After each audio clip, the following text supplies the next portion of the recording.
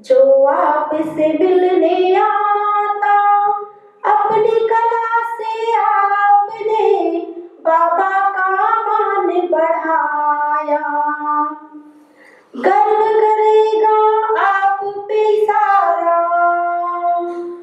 गर्व करेगा आप पे सारा। ईश्वरीय परिवार, आप हमें याद रहेगी। कभी ना भूल सकेंगी। आप हमें याद रहेगी। कभी ना भूल सकेंगी। बाबा की शिक्षाओं से सब में शक्ति भर देती। बाबा की शिक्षाओं सब में शक्ति भर देती।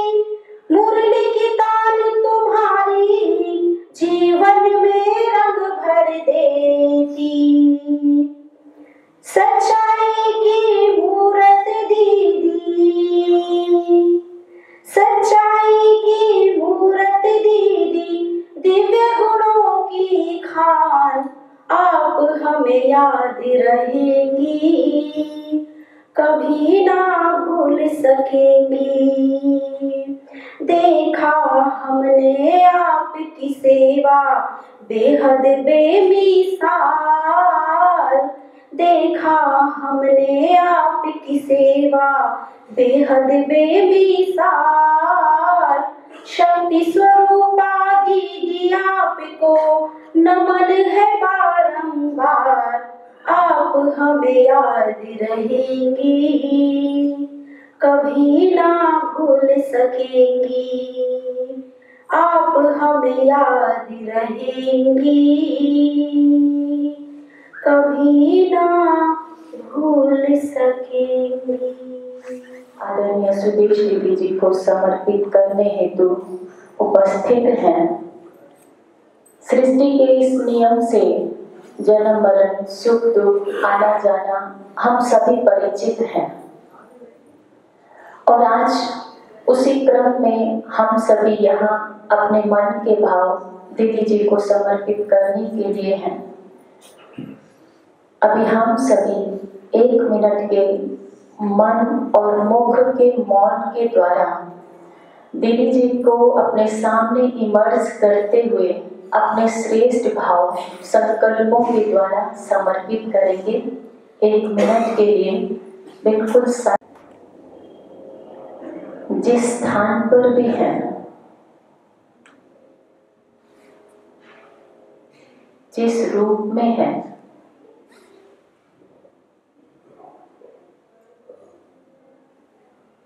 ये ब्राह्मण परिवार आपको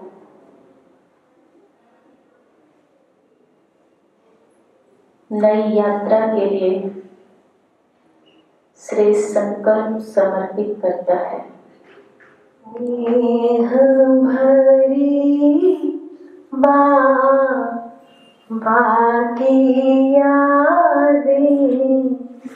मीठी सी मुस्कान। जन्म जन्म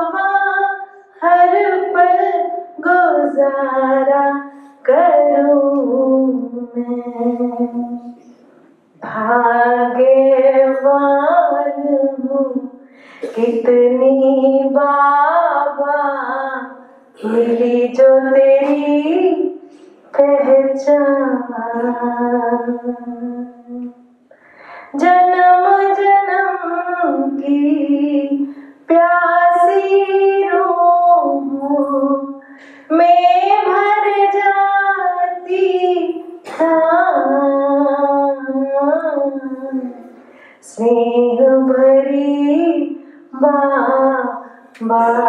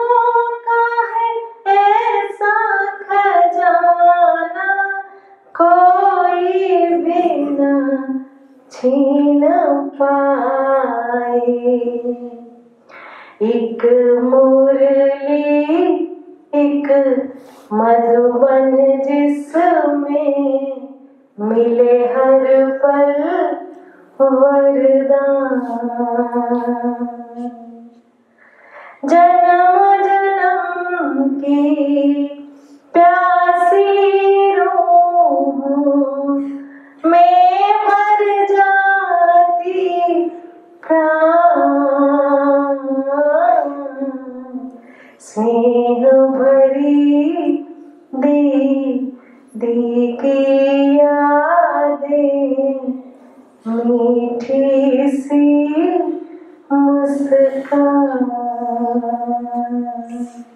स्नेह भरी दी दी यादें मीठी सी मुस्कान।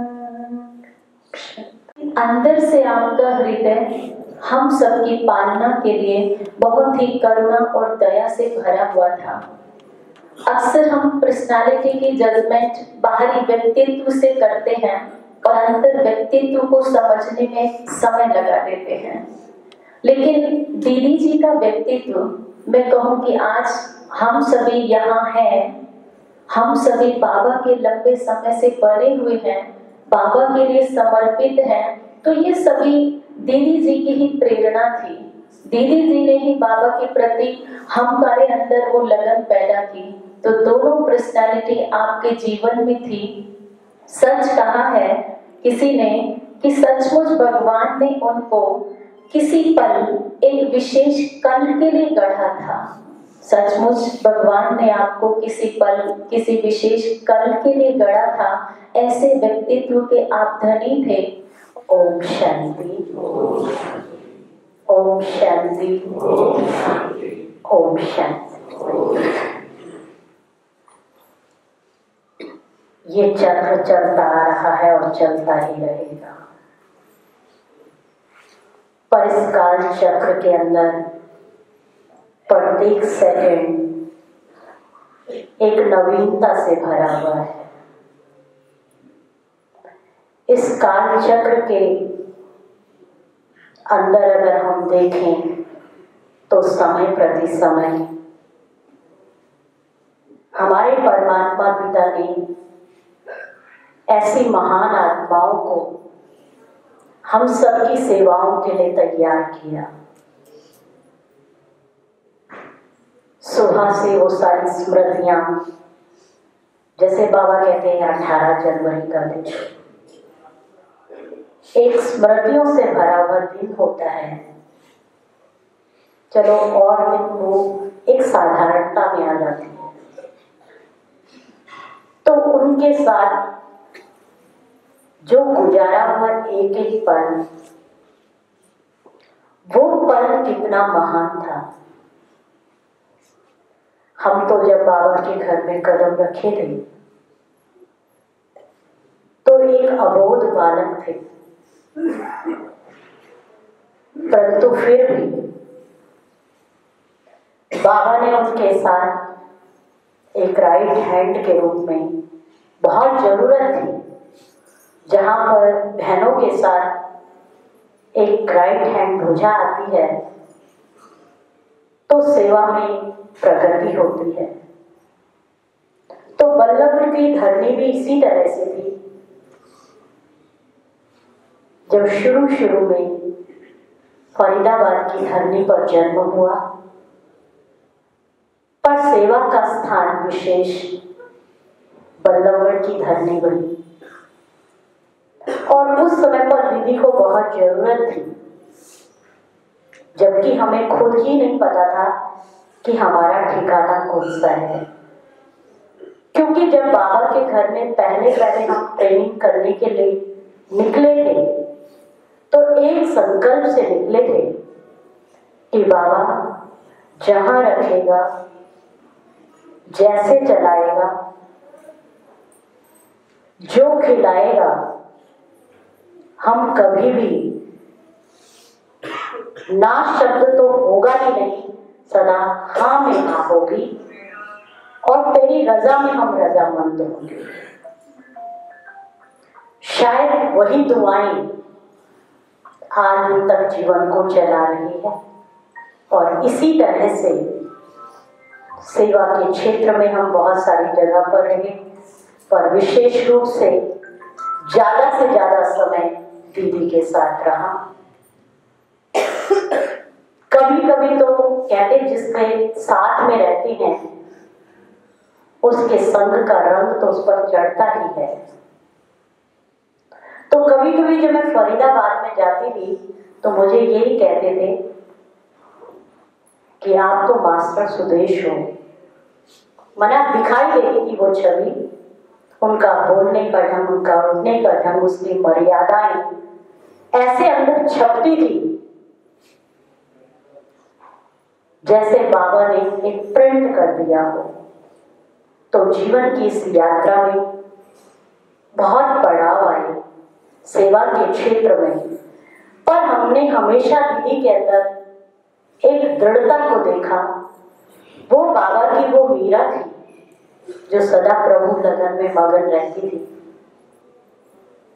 जबकि समय 1985 का कैसा था। क्लास में भी आठ दस भाई बहन आते थे। और किस तरह से उस समय पर जब दादियों के टाइम पर बाबा ने बैटरी लाइफ सिखाई तो हमारे जीवन की भी वो लाइफ थी। पर वो समा, सदा ही संतुष्ट रहती थी। और हमेशा उनका मनोबल इतना स्ट्रॉन्ग रहता था कि वो असंभव कार्य को भी, जिस कार्य के लिए मन में ठान लेती थी, उसे संभव कर लेती थी। उनका सरल और सहज जीवन केवल हम तो कदम पर कदम रखकर चल रहे थे। हमने कोई मेहनत नहीं की। हमें तो बाबा ने ये दिखाया कि तुम्हारे बड़े क्या कर रहे हैं। अब वो आदर्श में आदर्श थे तो केवल हमने उनकी एक कदमों की पढ़ाई पढ़ी।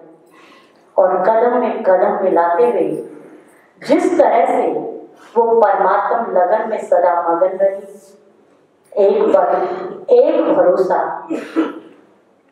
संगम युग जो स्वर्णिम युग है। बाबा ने इसको डायमंड युग कहा। तो हमने अपने दीदी को आज पूरे ब्राह्मण परिवार के अंदर एक हीरे के रूप में चमकते हुए देखा।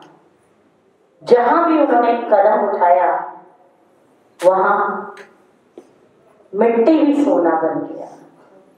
ये उनकी सफलता थी।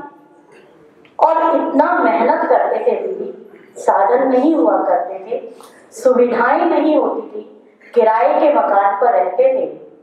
पर वो कितने कितने किलोमीटर हर गाँव में पैदल चला करते थे। साधारण में भी वो एक महान आत्मा दिखाई देती थी। दिव्यता की वो मूर्त थी, वो झलक और वो फलक। उस महान आत्मा में हमने देखा। साथ ही साथ सेवाएँ करते करते शरीर का भी हिसाब किताब सामने आता है। पर यही नहीं, उससे पहले जो हमारे आदरणीय भाई साहब थे, बल्लभगढ़ के सीनियर और फरीदाबाद की धरनी में सेवाओं का, जिन्होंने सुंदर बीज बोया, विश्वनाथ भाई, जैसे वो नाम वैसे ही उनका काम था। दीदी के साथ हमेशा राइट हैंड बन करके उन्होंने हमारे मनोबल को बहुत बढ़ाया। और दीदी ने भी सदा हर बात में भाई साहब की आज्ञा का पालन करते हुए, वो सदा एकता के बंधन में बनते हुए सेवाओं को आगे बढ़ाते रहे। सेवा की सफलता तभी है जब संगठन है। जहाँ संगठन टूटता है, वहाँ सेवा बिखर जाती है। स्थिति बिखर जाती है। तो वो हमने गजब की शक्ति भाई साहब और दीदी में देखा। एक ऐसा भी समय आया कि भाई साहब के सामने भी एक बहुत बड़ा पेपर, जिस पेपर में बाबा ने कहा, आगे भी आएगा, पीछे भी आएगा। किसी को आगे पास करना, किसी को पीछे करना है। तो हमारे भाई साहब के सामने भी था। हमने अपने दीदी जी के जीवन में झांका कि जिन्होंने दिन रात न देखते हुए, नींद का त्याग करते हुए उन्होंने दिल से भाई साहब की सेवाएँ की, जिन्होंने यज्ञ में अपने जीवन को समर्पित किया था। और जिन्होंने समर्पित किया तो समर्पण का सही अर्थ क्या था कि अंत समय पर परिवार की तरह उन्हें मदद मिले। तो परिवार में भी शायद इतनी मदद नहीं मिलती है, जितना भाग्य, सौभाग्य हमारे विश्वनाथ भाई साहब का रहा। पर जीवन की यात्रा में आना और जाना तो चलता ही है। भाई साहब भी अभी हमारी बहन जी ममता बहन बता रही थी, सेवा के लिए बाबा ने उनका चुनाव किया। पर फिर भी भाई साहब ने बहुत सारी महान आत्माओं को अपने योग्य तैयार किया और दीदी जी, फिर भी उनका मनोबल नहीं गिरा और वो आगे बढ़ते रहे बढ़ते रहे और सेवाओं को दिखाते रहे। आज ये बदलौगढ़ की जो बगिया है, हमने कोई मेहनत नहीं की। हम तो बनी बनाई धरनी पर आए हैं और बैठे हुए हैं। अगर हमसे वो भी ना चले तो बात अलग है। मक्खन मिला हुआ है, केवल खाना है और खिलाना है। बाकी हमने कोई बिलोना नहीं है। कोई मेहनत नहीं आज। जितने भी हम बाबा की बुझाए हैं, केवल हम बनी बनाई सेवाओं पर बैठे हुए हैं। तो ये सब उनका पीछे का त्याग और तपस्या और बलिदान है।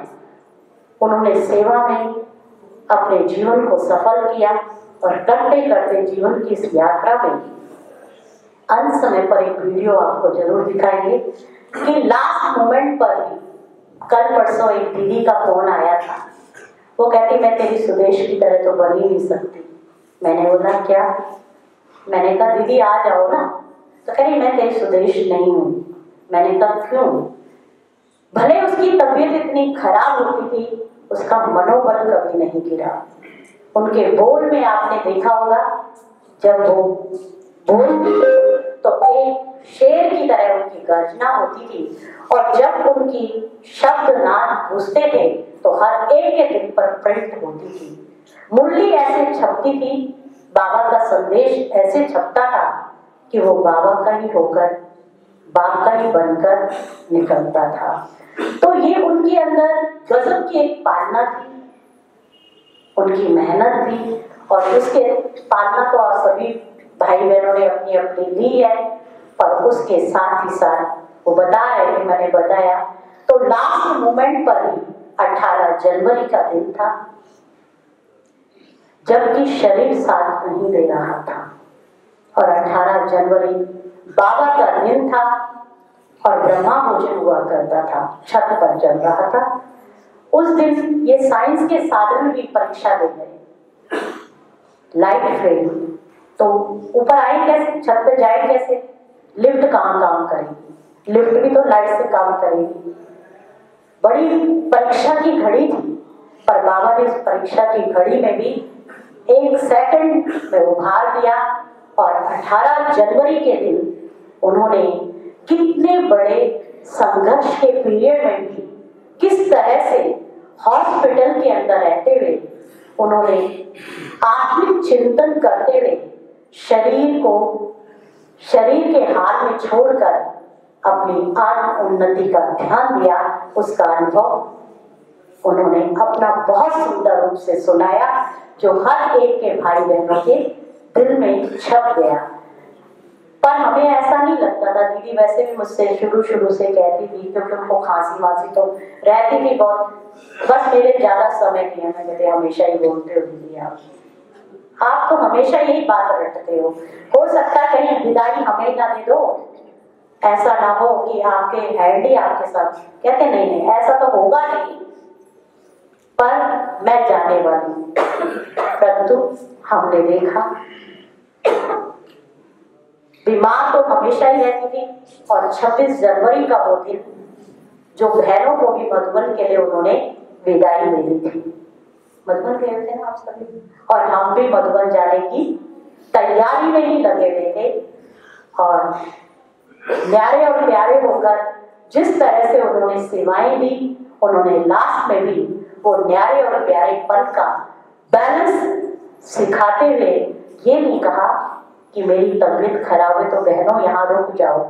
कुछ भी हो सकता है, उन्होंने प्यार से बाबा के घर की सेवाओं की हमें छुट्टी दी। तो आज उनकी जब एक एक बार मना हमें याद आती है तो वो यादें कोई साधारण नहीं है। वो यादें इतनी शक्तिशाली हैं। अभी 18 जनवरी बाबा के घर जाने का था। आपको पता 18 जनवरी का प्रोग्राम कैसा प्रोग्राम होता है। पर दीदी की वो बातें याद आई। बाबा क्या कहता है, दीदी क्या कहती और एक सेकंड में हम सब सेवाओं के लिए तैयार हो गए। मैंने कहा, दीदी नहीं है, तब भी तो सेवा हो रही है, हम नहीं होंगे। तो भी सेवाएँ होती रही। तो बाबा जो हमें सिखाता है, हमारे बड़े जो सिखाते हैं, केवल हमें उसके कदम पर कदम रखते हुए उनके आदर्श उनके आचरण को अपने जीवन के अंदर अपनाते हुए यही श्रद्धा के सुमन आज हम दीदी को सम्मान के रूप में समर्पित करते हैं कि जिस तरह से उन्होंने अपने जीवन के द्वारा अनेक आत्माओं की पालना की, सेवा की और मर्यादित होकर रहे तो हम उस सब का पाठ पढ़ाते हुए, सबको दीदी का दीदार कराते हुए, वो हमारे साथ पहले भी थी भी हैं व्यक्त में तो कोई भी साथी नहीं रहेगा। ये तो मन से निकाल दो। कोई किसी का साथी व्यक्त का तो है ही नहीं, चाहे कोई कितना भी प्यार करता। पर अव्यक्त रूप में हम सब साथी हैं। भगवान का भी हमसे वायदा है कि साथ रहेंगे, साथ चलेंगे। तो हमारी दीदी ने भी हमसे ये वायदा किया है और वो वायदा निभा रही है। केवल वो देख रही है वतन से कि भाई ये जो सेवाएँ आज उन्होंने हमारे ऊपर छोड़ी हैं, हम उसको कितना सफल बना रहे हैं। तो हमें उस सेवाओं को आगे बढ़ाना है, उनकी उम्मीदों को पूर्ण करना है। यही दीदी के प्रति हमारे सम्मान और श्रद्धा की श्रद्धा सुमन समर्पित हैं समर्पित हैं, समर्पित। इस पावन पवित्र स्थान पर बहुत ही आदरणीय, यशस्वी तेजस्वी, ओजस्वी बहुत ही करुणामयी ममतामयी आदरणीय सुरेश देवी जी की शांति सभा में उपस्थित। मेरे साथ बैठी हुई उनके विचारों को, उनके आदर्शों को जन जन तक पहुँचा रही, उनके सपनों को साकार कर रही और उनके पद चिन्हों पर चल रही आदरणीय सुशीला दीदी जी, संगीता दीदी जी और ममता दीदी जी और बहुत ही विनयशील और कर्मशील ज्योति भाई और इस सभागार में उपस्थित चेतना के उन्नयन की साधक में लगे सभी साधक बहनों और भाइयों, अभी दीदी ने संक्षेप में दीदी सुरेश जी के बारे में बताया। और मुझे भी बहुत नज़दीक से दीदी जी को जानने का मौका मिला। दीदी जी जब भी मिलती तो बहुत करुणा के साथ हमेशा अपना स्नेह और आशीर्वाद दिया करती थी। और जब बीमार थी तो मैंने भी उन्हें देखा। पर उस मुश्किल घड़ी में भी उनके चेहरे पे कभी कोई शिकन मैंने नहीं देखी। उसी ताकत और हिम्मत के साथ हमेशा बाबा की सेवा में लगी रही और अपना पूरा संपूर्ण जीवन बाबा की सेवा में समर्पित किया। और उन्हीं की मेहनत, कड़ी मेहनत और दृढ़ निश्चय ही ये फल है। ये जो बाबा की ईश्वरीय यात्रा जो बल्लभगढ़ की है, आज यहाँ तक पहुँची और ये परिवार, इतना बड़ी परिवार के रूप में आज यहाँ बैठा है। तो दीदी के दीदी के दृढ़ निश्चय का ये आज। फल है जो हम सब यहाँ बैठे हैं, जिस तरीके से उन्होंने मेहनत करी दीदी जी ने बताया कि भाई कितना अभाव था उस समय। और उस कड़ी मेहनत से आज यहाँ तक उन्होंने ये यात्रा पूरी की। तो मैं आज दीदी जी के चरणों में अपने श्रद्धा सुमन अर्पित करता हूँ। बहुत बहुत धन्यवाद। ओम शांति। ओम शांति ओम शांति कहते हैं जिनसे मिलकर ज़िंदगी से प्यार हो जाए। क्योंकि दुनिया के अंदर बहुत से व्यक्तित्व आए हैं, और इस दुनिया से चले भी गए। परंतु संसार में कुछ ऐसी आत्माएँ होती हैं जिनसे मिलकर ज़िंदगी बन जाती है। जिनसे मिलकर ज़िंदगी से प्यार हो जाता है, ऐसे व्यक्तित्व इस संसार में बहुत ही विरले हैं। और हमारी आदरणीय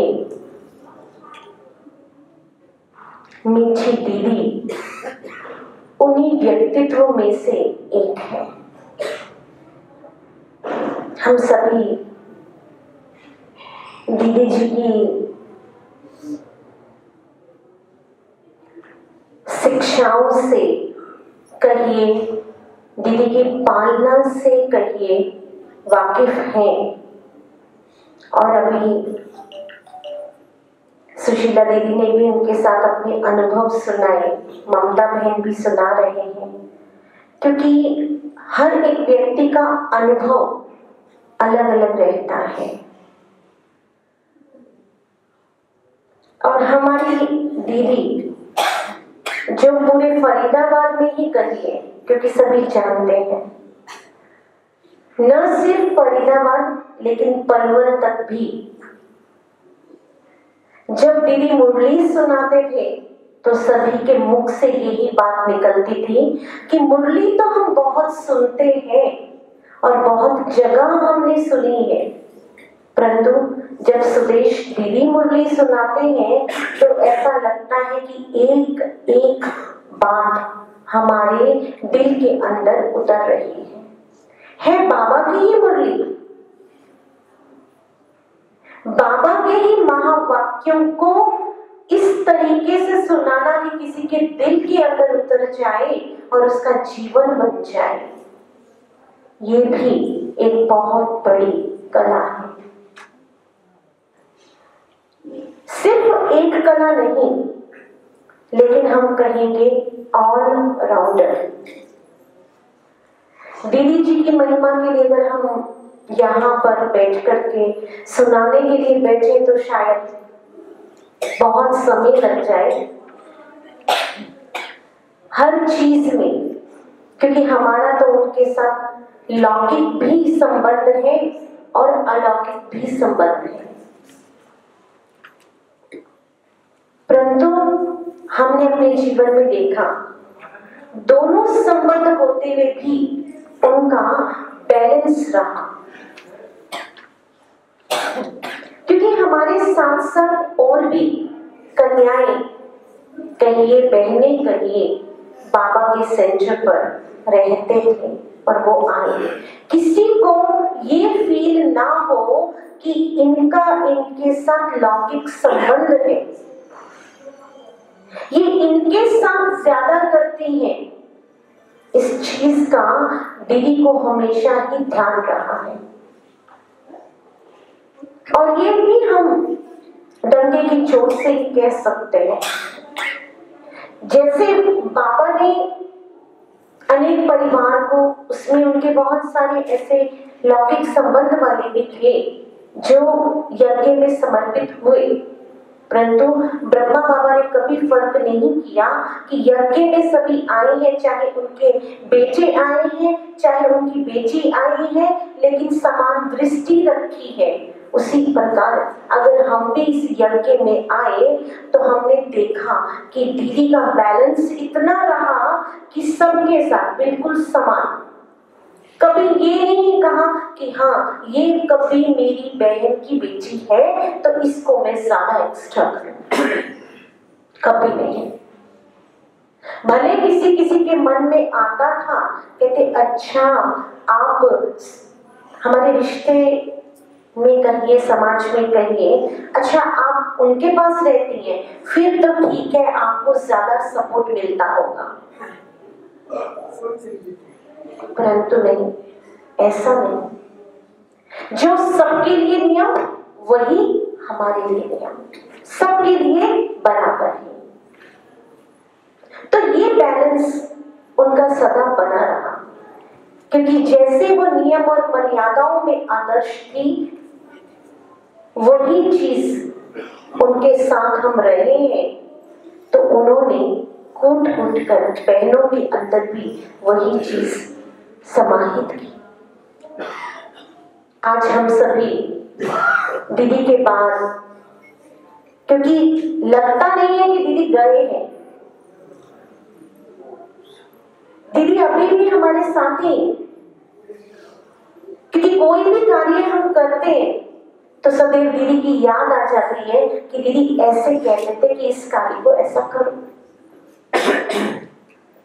स्थूल रीति से आज वो हमारे साथ नहीं है, लेकिन सूक्ष्म में आज भी, चाहे वो स्वप्न के अंदर आकर के अपना मैसेज दे जाते हैं, चाहे प्रेरणाएँ दे जाते हैं, वो आज दिन तक भी इसी बल्लभगढ़ की बगिया की पालना कर रही है।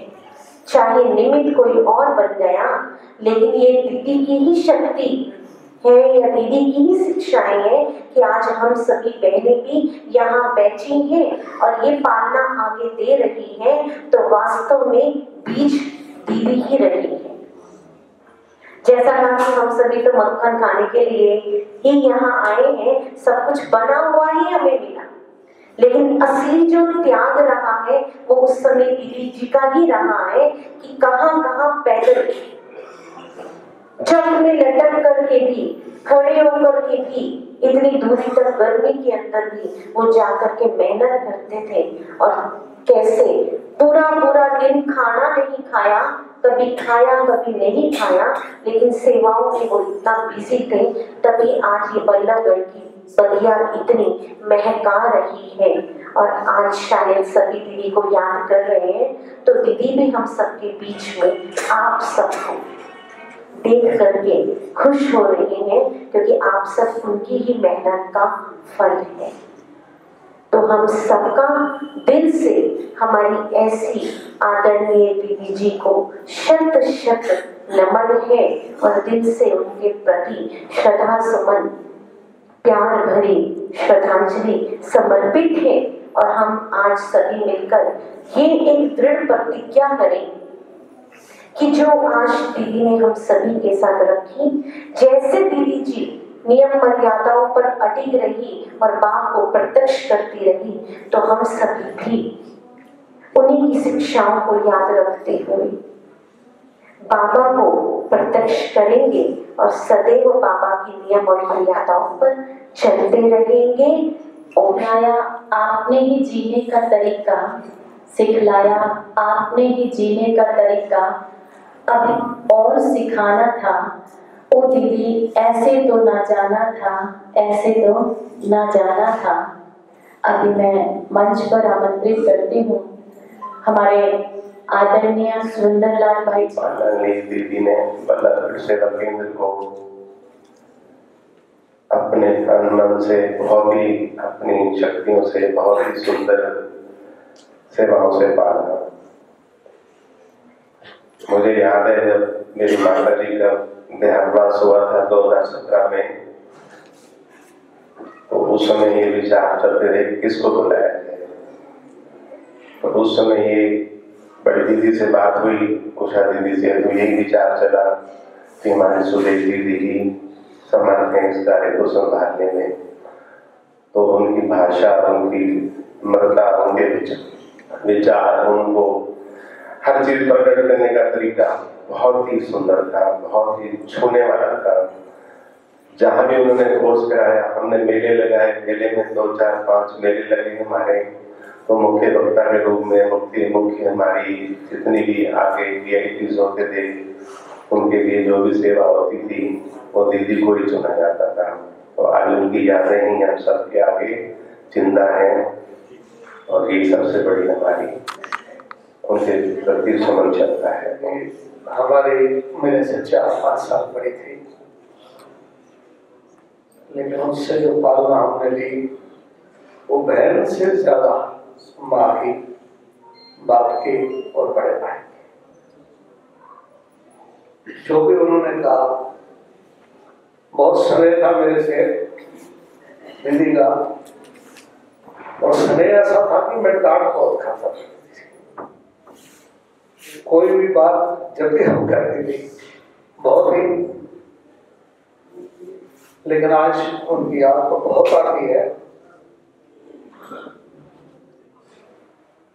बाबा ने अपने पास उसको जो भी नया स्थान दिया है, जहाँ भी नई यात्रा दी है, बहुत ही सुखद होगी, ऐसी आशा करता हूँ। ओम शांति।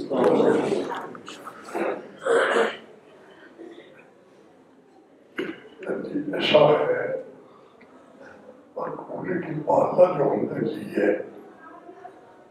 वो बहुत गहराई है। और हमने उनमें ये भी देखा। और उनकी तबीयत खराब होते हुए भी उनका बाबा से इतना प्यार रहा। और सेवा जो है, उन्होंने आगे जो उनमें विशेषता तो जो है, हर फ़ंक्शन में जहाँ भी जाते थी तो वो सफलता प्राप्त होती थी। और उनमें सभी विशेषताएँ थी। इतनी विशेषता की कोई नहीं। उनकी गिनती करना भी हमारे लिए मुश्किल है अब हमें तो यही जो है करना है।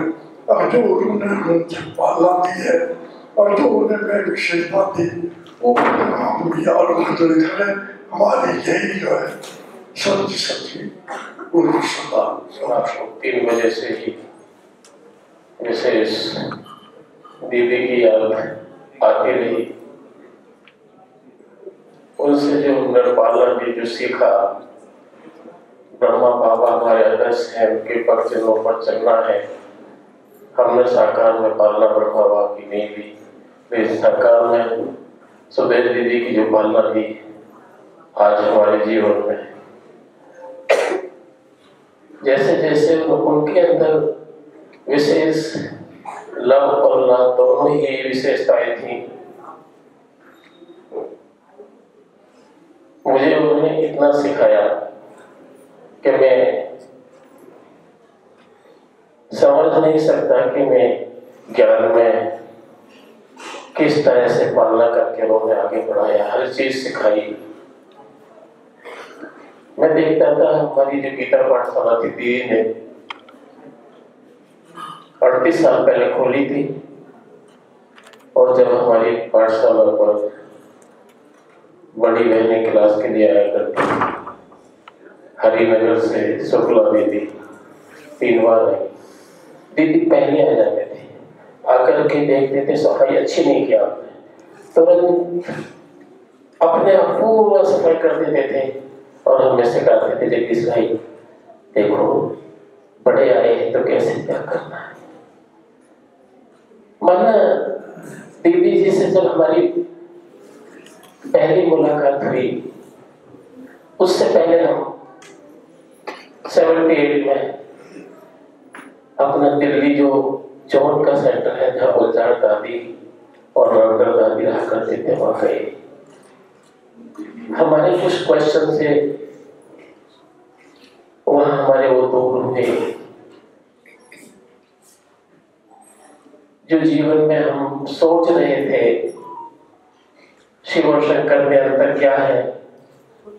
अभी बैठो सभी दो मिनट बैठो। और दो मिनट और। श्री कृष्ण और परमात्मा में अंतर क्या है? ये दो, दो मिनट एक्सपीरियंस सुनाओ हिस्ट्री सारी बातें हमने सीखी लेकिन सुबेर दीदी के साथ जो हमारा साथ रहा उसमें उन्होंने हमें बहुत सिखाया कैसे पालना की जाती है, कैसे मर्यादाओं में रह करके चलना होता है, वो सब उनके जीवन से हमने सीखा। दीदी जी के अव्यक्त आरोपण दिवस पर, समृद्धि दिवस पर, तीसरी पुण्यतिथि पर, उनकी यादों को संजोते हुए हमने प्यारे बाबा को भोग लगाया। हम सब जानते हैं, दीदियों से हमने सुना है बहुत सारी बातें हमारे पूर्व भाई बहनों ने दीदी के विषय में बताई है। मैं तो बस इतना कहना चाहूँगा कि आज जो मैं हूँ, वो सब उनकी वजह से हूँ।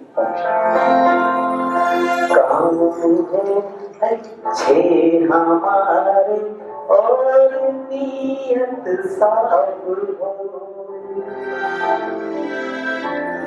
काम कितने काम हो अच्छे। और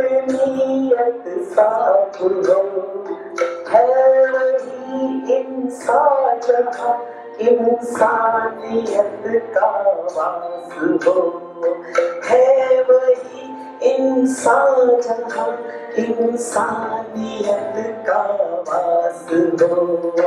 काम हो, अच्छे हमारे नियत साफ़ हो है वही इंसान जहाँ इंसानियत का वास हो। है वही इंसान जहाँ इंसानियत का वास हो। दूसरों के दर्द में जो ढूंढे अपने दर्द को। रब भी देता है दुआएँ। ऐसे उस हम दर्द को दूसरों के दर्द में जो ढूंढ अपने दर्द को, रब भी देता है दुआएँ, ऐसे उस हम दर्द को। बांट ले सुख दुख को जिसके दिल में ऐसी प्यास हो। है वही इंसान जहाँ इंसानियत का वास हो है वही इंसान जहाँ इंसानियत का वास हो दीदी की इंसानियत और दीदी का जज्बा आज इस कितना प्यारा और कितना स्थिर है हम सभी देख रहे हैं कितनी बढ़िया ये खीर हुई आज। ज़िंदगी में गलतियाँ होती ही आई है, सदी से काम जो करता है गलती होती भी तो है उसी से। दिल में गलतियाँ तो होती आई है सभी से। काम जो करता है गलती होती भी तो है उसी से। अपनी गलती जो सुधारे दूसरों की माफ़ हो। है वही इंसान इंसानियत का वास हो।